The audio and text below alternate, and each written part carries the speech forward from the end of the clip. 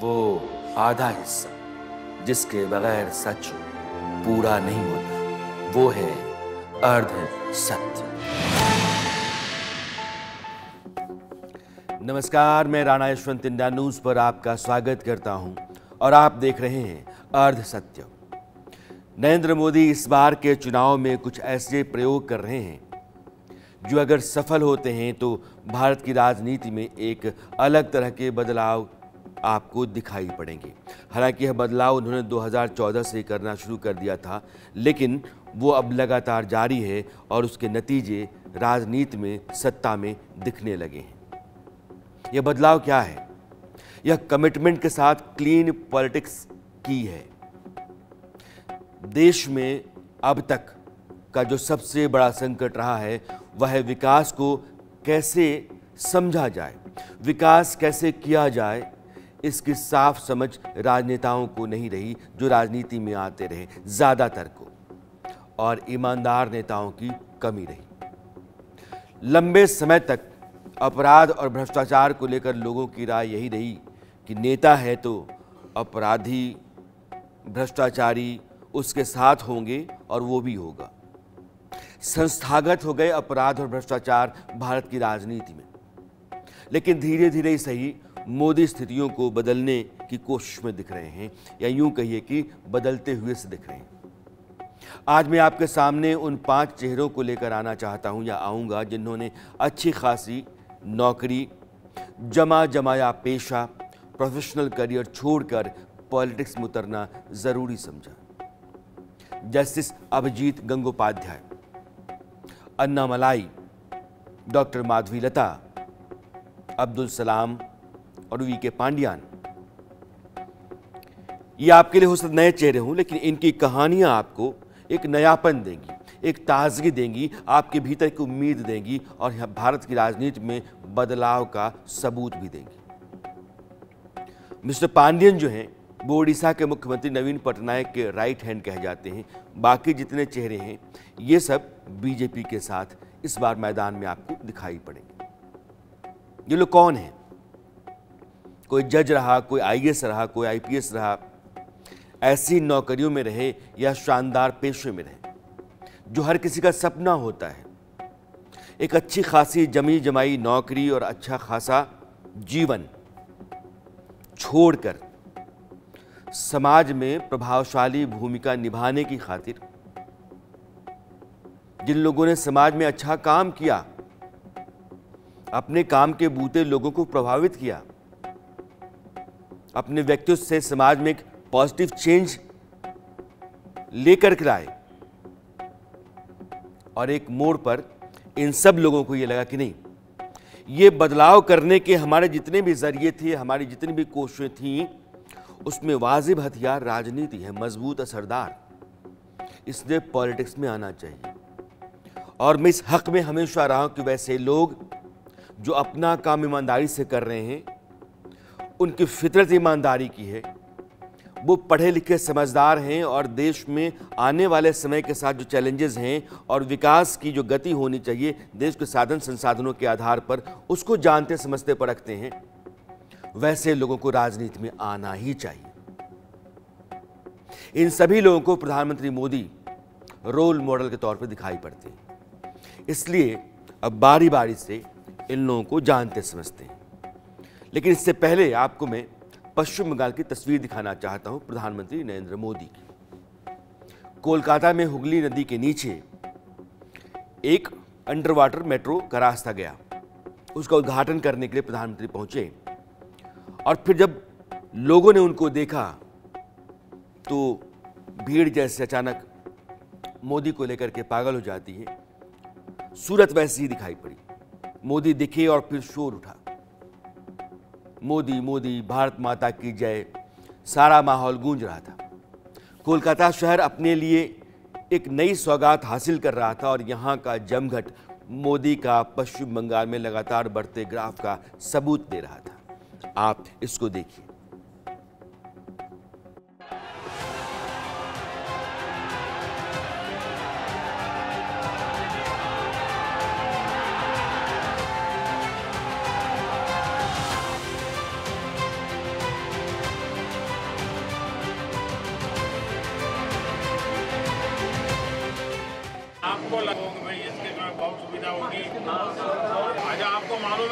हिंदुस्तान की पहली इस प्रकार की ट्रेन बनी है। आपको ये भी पता है कि उस ट्रेन में पहले मुसाफिर आप हैं। हैं? अच्छा आपको लगता है कि आप जैसे नौजवान मैं कह रहा हूँ कि ट्वेंटी फोर्टी सेवन तक देश को विकसित भारत बनाना है। इस पच्चीस साल में क्या काम ज़्यादा करना चाहिए? सर मेहनत सबसे ज़्यादा मेहनत मेहनत करनी चाहिए। अच्छा। सुबह जिम में मेहनत करनी चाहिए। सर अपने लिए लिए भी दूसरों के लिए पानी के नीचे जा रहे हैं आप लोग। कितना नीचे मालूम है? सर थर्टी टू मीटर और छः मीटर नीचे टनल है। प्रधानमंत्री नरेंद्र मोदी हिंदुस्तान के इकलौते और पहले ऐसे प्रधानमंत्री हैं जो रोज लोगों के बीच आपको देखते हैं। विकास की परियोजनाओं का शिलान्यास करते हुए या फिर जिनका कुछ साल पहले शिलान्यास किया था उस उनका उद्घाटन करते हुए। या फिर जिसको विरासत कहते हैं कि भारत की जो संपन्न सांस्कृतिक, ऐतिहासिक विरासत है, उसको एक नई ऊंचाई देते हुए। कभी तमिलनाडु, कभी पश्चिम बंगाल, कभी बिहार तो कभी केरल और 24 घंटे के भीतर जम्मू कश्मीर भी। पाँच दिनों में प्रधानमंत्री मोदी का यह दूसरा पश्चिम बंगाल दौरा है। मोदी की सभाओं में भारी भीड़ जुट रही है। ये तस्वीर बंगाल के सियासी बदलाव का बड़ा संकेत दे रही है। वे पश्चिम बंगाल जा रहे हैं, वहाँ के लोगों से मिल रहे हैं, वहाँ विकास परियोजनाओं की शुरुआत कर रहे हैं, वहाँ के मुद्दों को उठा रहे हैं। इस वक्त बंगाल का जो सबसे बड़ा सवाल है, मुद्दा है, वो संदेश खाली है। आज नरेंद्र मोदी ने संदेश खाली की पीड़ित महिलाओं से भी मुलाकात की। उनका दुख उनकी तकलीफ़, उन पर जो गुजरी, उनका नारकीय जीवन सुना। तृणमूल कांग्रेस के लोग बेशक इसे चुनाव से जोड़कर देख रहे हों, लेकिन बयान जारी कर रहे हों। संदेश खाली में जुआ जिस तरह का डर, आतंक और यौन उत्पीड़न का दौर वहाँ रहा, जिसे महिलाओं ने झेला, उससे कोई कैसे इनकार कर सकता? संदेश खाली के सबसे बड़े आरोपी शाहजहां शेख के मामले में जो हो रहा है, वो तो सबके सामने है। पूरा देश देख रहा है। कैसे ममता सरकार एक अपराधी को बचाने में एड़ी चोटी का ज़ोर लगा रही है, हाई कोर्ट के कहने के बावजूद सीआईडी, सीबीआई को शाहबाज शेख को सौंप नहीं रही। प्रधानमंत्री नरेंद्र मोदी के जाने से यह मुद्दा और सुर्खियों में आया। बारासात जो संदेश खाली से थोड़ी ही दूर पे है, वहाँ नरेंद्र मोदी ने रैली की। संदेश खाली की पीड़ित महिलाओं से भी मिले। लोगों को न्याय की एक उम्मीद जगी है। प्रधानमंत्री मोदी विकास की बात करते हैं। विश्वास की बात भी करते हैं। उनकी बातें बंगाल के लोगों में भी भरोसा जगा रही हैं। जैसे कि प्रधानमंत्री जी ने कहा है क्योंकि आप लोग देखे हैं कुछ दिन पहले खाली का हालत क्या हुआ था। तो उसी के हिसाब से देखते हुए प्रधानमंत्री जी बहुत दुख प्रकट किया है कि यहाँ का मुख्यमंत्री एक जन महिला है। उन, उनके राज्य में ऐसे चल रहा है जैसे कि संदेश खाली का प्रकाश हुआ है ऐसे बहुत सारी जगह है जहाँ का प्रकाश नहीं हुआ है। इसीलिए प्रधानमंत्री जी स्वयं यहाँ का मतलब सिर्फ़ और नॉट ओनली वेस्ट बंगाल पूरा भारतवर्षी का माँ बहनों को अपना लिया है। उनका अपना फैमिली मेंबर बताया है। पश्चिम बंगाल में इस वक्त जो हालात बनते दिख रहे हैं, वो कमोबेश साल 2011 से पहले जैसे हैं। 2011 के चुनाव में ममता बनर्जी जीत करके पश्चिम बंगाल में आई और तीन दशक पुरानी जो वामपंथी मोर्चे की सरकार थी, वो चली गई। चौंतीस साल पुरानी सत्ता को ममता ने उखाड़ फेंका। तब सिंदूर और नंदीग्राम की घटना ने ममता बनर्जी को बंगाल का बड़ा सियासी ब्रांड बना दिया था, जिसके बाद पश्चिम बंगाल की जनता ने ममता बनर्जी को मुख्यमंत्री बनाया, अपना हीरो बना लिया। संदेश खाली को लेकर सत्ता विरोध लहर कुछ उसी तरह से जोड़ पकड़ती जा रही है। पश्चिम बंगाल में प्रधानमंत्री मोदी की पॉपुलैरिटी लगातार बढ़ रही है। राम मंदिर के बाद इसमें ज़बरदस्त उछाल देखने को मिल रहा है। अब संदेश खाली को देखते हुए लोगों का भरोसा मोदी पर और ज़्यादा बढ़ रहा है। या यूँ कहिए कि ममता बनर्जी ने आज से तेरह साल पहले पश्चिम बंगाल के लोगों के भीतर जो अपने लिए भरोसा पैदा किया था, उस भरोसे को वो खो चुकी हैं। उनकी जो क्रेडिबिलिटी है लोगों के बीच में, वो ख़त्म हो रही है। गुंडे, मवालियों, अपराधियों का पूरा एक राज चलता है, जिसको पुलिस और नेता दोनों प्रोटेक्शन देते हैं। उसमें जनता पिसती है। एक जंगल राज, एक अंधेर गर्दी पश्चिम बंगाल में।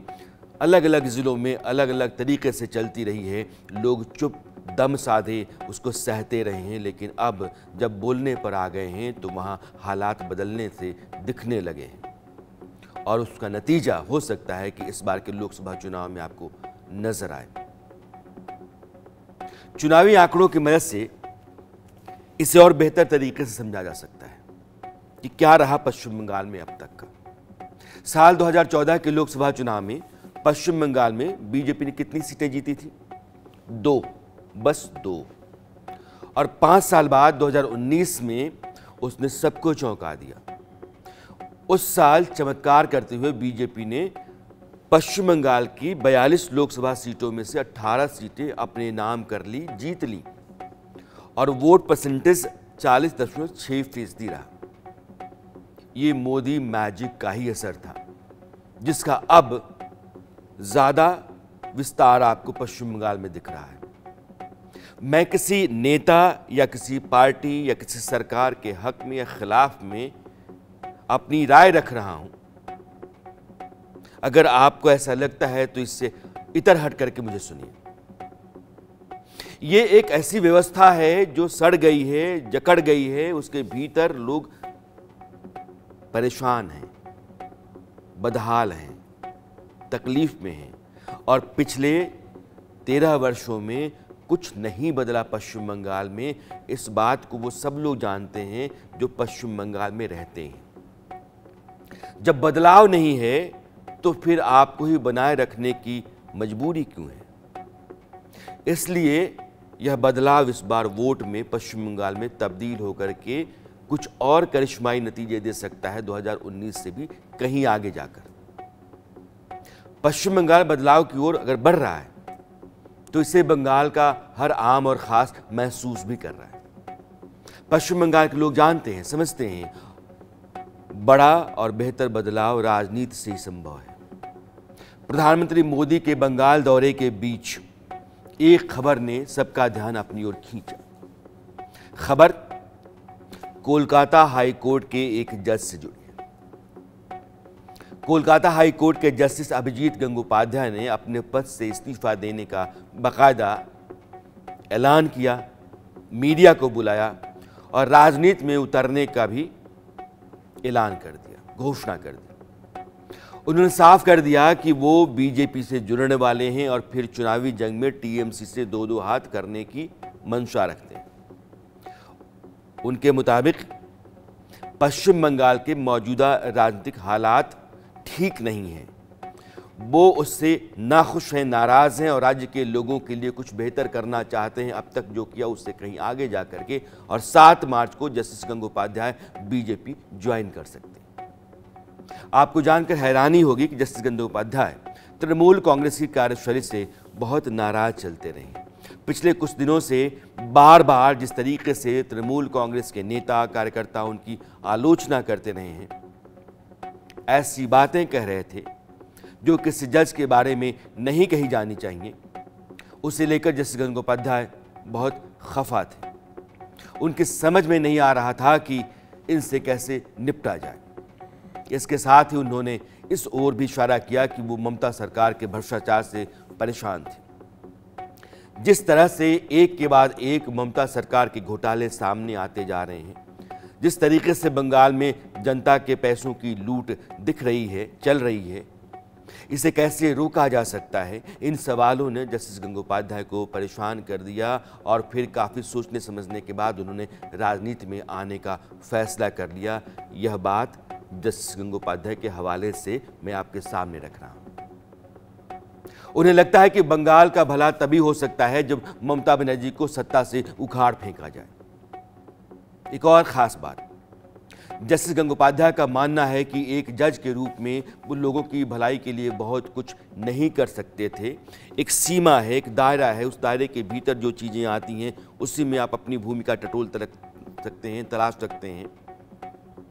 लेकिन राजनीति ऐसी जगह है वो ऐसा औज़ार है, जो समाज में बदलाव के लिए हर ज़रूरी अधिकार आपको देता है। इसलिए वो राजनीति में आने का फैसला कर बैठे। जब जस्टिस गंगोपाध्याय से पूछा गया कि बीजेपी ही क्यों तो उन्होंने प्रधानमंत्री नरेंद्र मोदी की तारीफ़ की। एक तरीके से मोदी को अपना रोल मॉडल बताते हुए जस्टिस गंगोपाध्याय ने कहा कि पीएम मोदी बहुत मेहनती आदमी हैं और देश के लिए कुछ बेहतर करने की वो लगातार कोशिश कर रहे हैं। सुनिया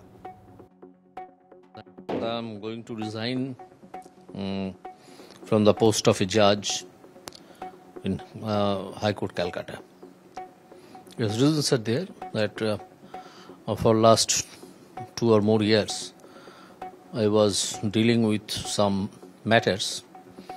especially education matters, regarding which a huge corruption has been discovered and unearthed. A large number of important persons in the education sector of this government are now languishing in jail under trial. Hmm, so I have thought that the only the political field can give the persons who wants to take steps in respect of those helpless people a chance to act for them. So I have decided to leave the post, to resign, and I will work for them in some form or the other. Justice Gangopadhyay को लेकर बात थोड़ी सी रह गई। उनकी integrity कैसी रही? है करियर कैसा रहा है? ऑनेस्टी कैसी रही? है ये बताने से पहले, वे लोग जो सवाल उठा रहे हैं कि एक जज अपना पोस्ट छोड़ करके राजनीति में उतर रहा है तो राजनीति में आने से पहले वो जो कुछ भी कर रहा होगा, वो एक पॉलिटिकल पार्टी के प्रभाव में तो नहीं कर रहा उसके फैसले कहीं उस प्रभाव में तो लिए नहीं गए। अगर आप ऐसा सोचते हैं तो फिर थोड़ा पीछे चलते, कुछ और मामलों को देख लेते। जस्टिस गंगोपाध्याय हैं, वैसे ही देश के चीफ जस्टिस थे रंजन गोगोई। और जैसे जस्टिस गंगोपाध्याय नरेंद्र मोदी के रहते हुए, प्रधानमंत्री रहते हुए ही अपनी पोस्ट छोड़ रहे हैं, जस्टिस गोगोई रिटायर हुए थे 17 नवंबर 2019 को। उसके चार महीने बाद 19 मार्च 2020 को राज्यसभा में सांसद के रूप में आए, शपथ ली। वैसे वो नॉमिनेटेड मेंबर थे। मगर तब भी सवाल उठे कि सुप्रीम कोर्ट का चीफ जस्टिस रिटायरमेंट के तुरंत बाद राजनीति में आता है, ये खेल क्या है? उसके पद पर रहते हुए उसने जो फैसले लिए होंगे, उन पर क्या सवाल नहीं उठ सकता है? तो फिर कुछ और चीज़ें भी ज़रूरी होती हैं जानना। ये पहली बार नहीं है कि जस्टिस गंगोपाध्याय या जस्टिस गोगोई जज होने के बाद राजनीति में तुरंत आ गए। ये खुला खेल मुरादाबाद वाली बात चलती रही। एक साहब थे, एस के हेगड़े।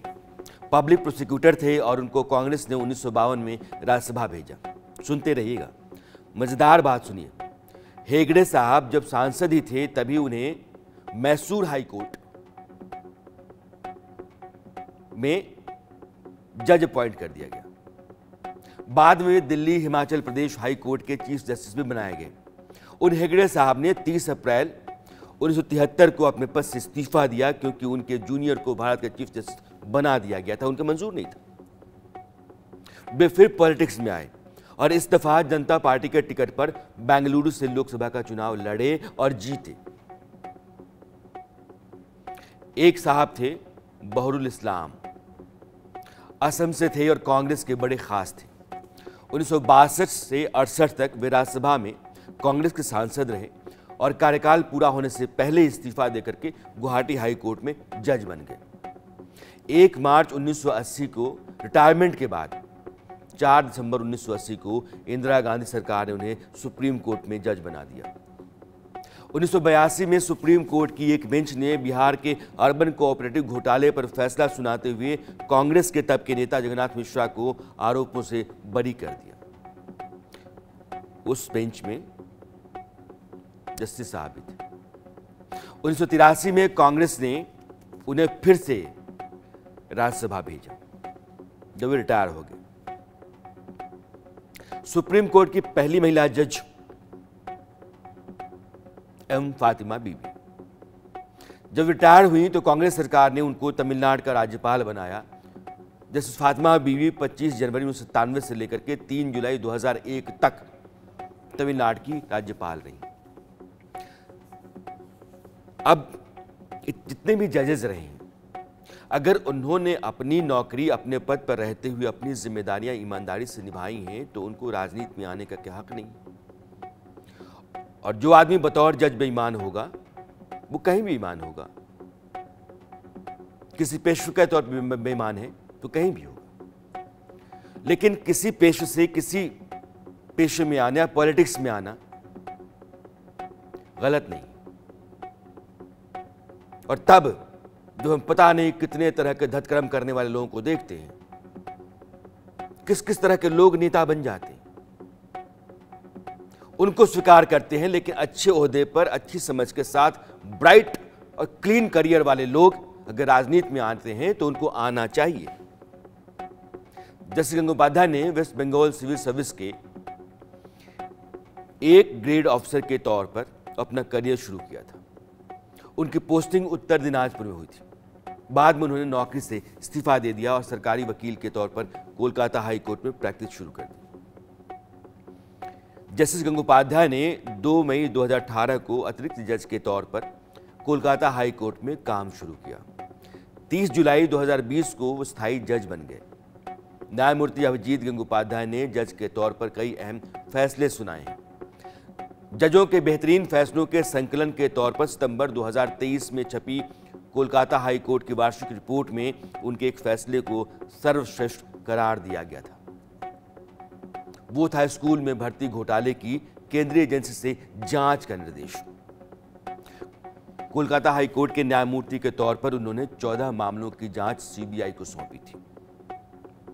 एक शानदार करियर के बाद जस्टिस गंगोपाध्याय को यह लगने लगा कि राजनीति में आना चाहिए। उनसे एक अच्छी और क्लीन राजनीति की उम्मीद की जा रही है और की जानी चाहिए। गंगोपाध्याय पश्चिम बंगाल के सुपरिचित हाईकोर्ट के जस्टिस रहे हैं और उनके लंबे कालखंड में उन्होंने बहुत ऐतिहासिक फैसले भी दिए हैं, जिसका असर पश्चिम बंगाल के लोगों पर पड़ा है। और उन्होंने अभी अवकाश के रिटायरमेंट के पाँच छः महीने पहले जो राजनीति में जाने का फैसला लिया, उन्होंने एक दिन पहले अपने रिटायरमेंट की घोषणा की। रविवार को, सोमवार को उन्होंने अंतिम दिन ज्वाइन किया और मंगलवार को उन्होंने इस्तीफा दे दिया और उसके बाद भारतीय जनता पार्टी शामिल होने की उन्होंने घोषणा की है। किसी जस्टिस के राजनीति में जाने को लेकर के प्रसंग बहुत से उठ सकते हैं, लेकिन कानूनी तौर पर इसमें कोई बाधा नहीं है। पुराना इतिहास इस बात का गवाह है कि श्रीमती इंदिरा गांधी जिस समय देश की प्रधानमंत्री थी, उस समय भी एकाधिक जस्टिस ने कोर्ट अपने सुप्रीम कोर्ट का से इस्तीफा दिया था और उन्होंने बाद में राजनीति ज्वाइन की थी। उसके बाद में भी एक दौर आया था जब जस्टिस हंसराज खन्ना किसी कारणवश श्रीमती इंदिरा गांधी के साथ उनके रिश्तों में खटास आ गई और उसके बाद वो राजनीति में आए और मंत्री भी बने। उसी प्रकार पश्चिम बंगाल की राजनीति के लिए ये एक नया अध्याय हो सकता है जब जस्टिस गांगुली राजनीति में पदार्पण कर रहे हैं। उनके कई फैसले, विशेष करके सत्तारूढ़ पश्चिम बंगाल में जो सत्तारूढ़ तृणमूल कांग्रेस की पार्टी है, उनको ये फैसला अप्रिय लग सकता है, लेकिन उन्होंने इसका समाधान भी अपने शब्दों में किया है, अपनी भावनाओं को प्रकट किया है और उन्होंने ये भी कहा है कि इस पार्टी के भ्रष्टाचार के कारण, भ्रष्टाचार के इतने मामले आए हैं आम जनता को तकलीफें हो रही है और विशेष करके शिक्षकों की नियुक्ति का मामला है, और भी बहुत सारे मामले हैं जिसको लेकर के उन्होंने पदत्याग किया है और राजनीति में शामिल होने की घोषणा की है। किसी व्यवस्था में भ्रष्टाचार, अत्याचार, कदाकाचार है और मैं उसी व्यवस्था के भीतर बैठ करके अपनी ज़िम्मेदारी निभा रहा हूँ और बाकी सब तरफ़ से आँख मूदे हुए हूँ और मैं कहूँ कि मैं अपने समाज और अपने सूबे के लिए अच्छा करना चाहता हूँ। तो ये बात समझ में नहीं आती। निकलना पड़ेगा और अच्छा करने के लिए उस रास्ते को अख्तियार करना पड़ेगा जिसके ज़रिए मुमकिन है। जस्टिस गंगोपाध्याय ने यही किया है। अब मैं आपको तमिलनाडु ले चलता हूँ, जहाँ एक पूर्व आईपीएस ऑफिसर ज़बरदस्त रूप से चर्चा में नाम है अन्नामलाई कुप्पुसामी। पुलिस की नौकरी छोड़ दी, पॉलिटिक्स ज्वाइन कर ली। प्रधानमंत्री मोदी को रोल मॉडल मानने वाले अन्नामलाई को बीजेपी ने तमिलनाडु में अपनी पार्टी का बड़ा चेहरा बना दिया, पार्टी का अध्यक्ष बना दिया। कभी सिंघम वाली इमेज लेकर के पुलिस अधिकारी के तौर पर काम करने वाले अन्नामलाई इस वक्त तमिलनाडु बीजेपी कमान संभाले हुए। अन्नामलाई की लाइफ बॉलीवुड की किसी सुपरहिट एक्शन मूवी के हीरो की लाइफ से मिलती जुलती सी। अन्नामलाई किसान परिवार में पैदा हुए।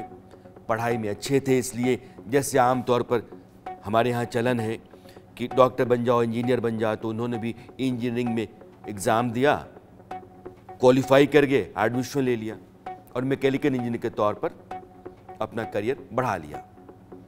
फिर उन्हें लगा कि कुछ और बड़ा करना चाहिए। तो अन्नामलाई ने आईआईएम के लिए एग्ज़ाम दिया, एंट्रेंस। एग्ज़ाम क्वालिफाई कर गए। और लखनऊ आईआईएम से एमबीए किया। आईआईएम से एमबीए करने के बाद मोटी सैलरी वाली जॉब तो पक्की थी। लेकिन अन्नामलाई शायद यहाँ रुकने वाले नहीं थे। उनको इतने भर से सब्र नहीं था। तो उन्होंने कहा कि कुछ और बड़ा करना चाहिए। अब बड़ा करने के चक्कर में अन्नामलाई ने यूपीएससी देने का फैसला किया कि हमें सिविल सर्विस देना है। और यूपीएससी लोग कहते हैं, बहुत टफ एग्ज़ाम है। है भी अन्नामलाई ने क्वालिफाई कर लिया। इंजीनियरिंग आईआईएम और आईएएस कर्नाटक कर के वो पुलिस ऑफिसर बन गए।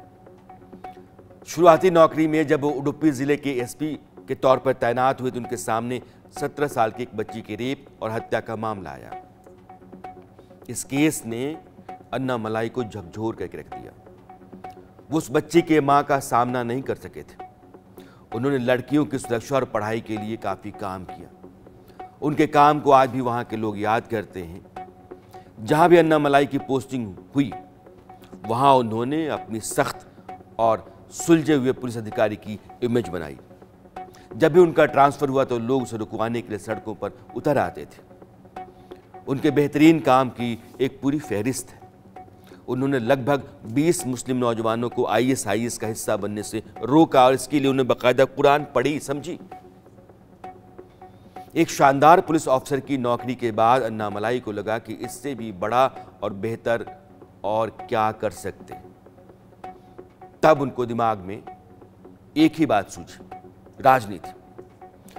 पॉलिटिक्स ज्वाइन करना चाहिए और उन्होंने पॉलिटिक्स ज्वाइन कर लिया। जब अन्नामलाई ने आईपीएस की नौकरी छोड़ी वो बेंगलुरु साउथ के डिप्टी कमिश्नर के तौर पर कार्यरत थे। सख्त मिजाज और ईमानदार छवि के चलते पूरे तमिलनाडु में उनकी पहचान सिंघम जैसी साल 2019 में अन्ना मलाई ने बीजेपी ज्वाइन की। पाँच साल हो गए। बीजेपी में भी वो जल्द ही नेताओं और कार्यकर्ताओं की पसंद बन गए। बहुत तेज़ी से उनका प्रमोशन भी हुआ। साल 2021 में, यानी कि दो साल बाद ही वे तमिलनाडु के बीजेपी प्रदेश अध्यक्ष बनाए गए। अन्नामलाई वेल्लाला गौडर जाति से आते तमिलनाडु की राजनीति में वेल्लाला जाति रणनीतिक तौर पर बहुत महत्व रखती है। महज 38 साल के अन्नामलाई से तमिलनाडु में बीजेपी को काफ़ी उम्मीदें हैं। तमिलनाडु की समझ, वहाँ के लोगों के साथ उनका इंटरेक्शन वहाँ के इश्यूज़ ये सब जिस तरीके से अन्नामलाई समझते हैं लोगों के बीच में उनका जो इंटरेक्शन है, जो कम्युनिकेशन है, वो इतना धारदार है कि वो अपना असर छोड़ने लगे हैं। अन्नामलाई की तेज तर्रार छवि का फ़ायदा बीजेपी को मिलता हुआ दिख रहा है। पिछले दिनों प्रधानमंत्री ने तमिलनाडु के मन से अन्नामलाई की तारीफ़ की और क्या कहा था, आप सुनिए। तमिलनाडु एक नया इतिहास रचने जा रहा है। मेरे तमिल भाई बहनों ने एन मण, एन मक्कड़ यात्रा को जो समर्थन दिया है, वो अभूतपूर्व है। हर भाजपा कार्यकर्ता के लिए इस मिट्टी का कण कण ईश्वर के समान है। मैं विशेष रूप से अपने युवा और ऊर्जावान सहयोगी भाई अन्ना मलाई को अनेक अनेक शुभकामनाएँ देता हूँ। उन्होंने इस यात्रा से सबका साथ, सबका विकास और सबका विश्वास ये मंत्र घर घर तक पहुँचाया है। तमिलनाडु में लोकसभा की उनतालीस सीटें होती हैं और पिछले चार दशक से वहाँ दो ही लोग सत्ता में रहे। या तो जयललिता या फिर करुणानिधि का खानदान या करुणानिधि।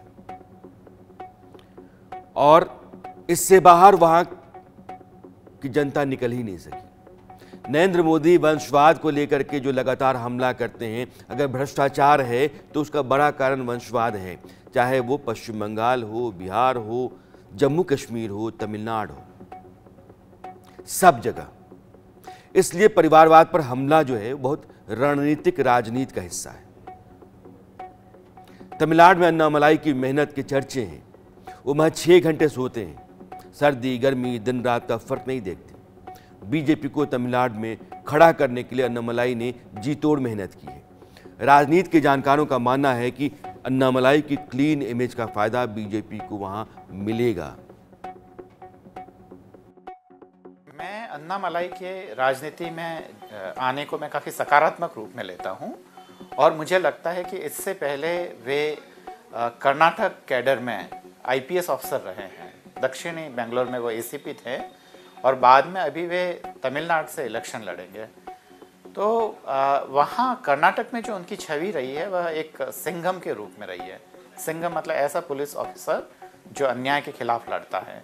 मुझे उम्मीद है कि उन्होंने जो पुलिस ऑफिसर रहते हुए जो काम किया है और जो अनुभव बटोरे हैं, वे उसका आगे उपयोग कर पाएँगे और तमिलनाडु में वह बेहतर परिवर्तन के लिए एक आगे उसका नेतृत्व कर पाएँगे, ऐसी उम्मीद है। पर देखते हैं कि ऊट किस करवट बैठता है। यह भविष्य में छुपा हुआ है, पर मुझे उम्मीद है कि वो अच्छा करेंगे। एक नौजवान नेता, काबिल नेता, ईमानदार नेता, अपने राज्य के लिए कुछ करने का जज्बा लेकर के चलने वाला नेता। तमिलनाडु की परिवारवादी और पारंपरिक राजनीति को तोड़ करके बीजेपी के लिए वहाँ कुछ करिश्मा गढ़ पाएगा, कर पाएगा, इस बात की उम्मीद नरेंद्र मोदी को भी है। और मैं बार बार आपसे कह रहा हूँ कि दक्षिण भारत इस बार बीजेपी के लिए क्रांतिकारी नतीजे दे सकता है। अब मैं आपको हैदराबाद लेकर चलना चाहता हूँ, दक्षिण भारत का दूसरा शहर। यहाँ एक नेता है, उनका नाम है डॉक्टर माधवी लता, और उनकी चर्चा वहाँ खूब है। डॉक्टर माधवी लता को बीजेपी ने A AIMIM chief Asaduddin Owaisi के सामने खड़ा किया है। चर्चा तो यही है कि डॉक्टर माधवी ओवैसी साहब की मुसीबत बढ़ा सकती हैं। तेलंगाना की हैदराबाद सीट लंबे समय से ओवैसी परिवार के पास रही है। वहाँ से परिवार हमेशा से अच्छी मार्जिन से जीतता रहा है। लेकिन माधवी लता की एंट्री इस बार ओवैसी खानदान की मुसीबत बढ़ा सकती है। पूरे देश में माधवी लता की चर्चा इसी कारण है, क्योंकि ओवैसी बहुत मुखर राजनेता हैं और देश में वो जाने जाते हैं। वो तेलंगाना से बाहर भी कई राज्यों में अपनी पार्टी के लिए प्रचार करते हैं। लेकिन उनको उनके ही घर में, उनके गढ़ में घेरने के लिए बीजेपी ने माधवी लता को तैयार किया है। आपको जानकर हैरानी होगी कि माधवी लता जो बीजेपी की नेता आज की तारीख में, उनका कोई पॉलिटिकल बैकग्राउंड नहीं है। वो विरिंची अस्पताल की चेयरपर्सन है। अपने सोशल वर्क के दम पर उन्होंने एक अलग पहचान बनाई। हैदराबाद में वो बहुत एक्टिव दिखाई पड़ती हैं। कई सारे ट्रस्ट और संस्थान के ज़रिए वो लोगों की सेहत और एजुकेशन इस पर काम करती हैं। वो लूपा मुद्रा चैरिटेबल ट्रस्ट और लतामा फाउंडेशन की अध्यक्ष भी हैं। माधवी लता ने बेसहारा मुस्लिम महिलाओं के लिए एक छोटा सा कोष भी बनाया है। तीन तलाक कानून को लेकर उन्होंने काफ़ी मेहनत की। मुस्लिम समाज में भी माधवी लता बहुत पॉपुलर मानी जाती हैं। उनकी एक जो खूबी है, वो ये है कि भरतनाट्यम की बेहतरीन डांसर है। स्कूल कॉलेजों में वो हिंदुत्व और भारतीय संस्कृति पर भाषण देती हुई आपको नज़र आ जाएँगी। इसके चलते सोशल मीडिया पर वो छाई रहती हैदराबाद की राजनीति पर नज़र रखने वालों को लगता है कि माधवी लता ओवैसी साहब को कड़ी चुनौती दे सकती। लता जी ने जो बीजेपी ज्वाइन किया, ये बहुत बड़ा एक अचानक से एक धमाका जैसा हुआ है, किसी ने सोचा भी नहीं था। और हमें लग रहा है इनको ये जो इन्फॉर्मेशन था, ये डिसीज़न जो इन्होंने लिया, काफ़ी दिनों से इन्होंने लिया है। इसीलिए लगातार वो हैदराबाद में और हैदराबाद खास करके जहाँ पे मुस्लिम लोग काफ़ी ज़्यादा हैं, वहाँ पे वो महिला के खिलाफ के सपोर्ट में काम कर रही थी। देन ट्रिपल तलाक के बारे में बात कर रही थी। जो भी था टारगेटेड था, उनका जो एन भी था, उसी साइड में वो बात कर रही थी।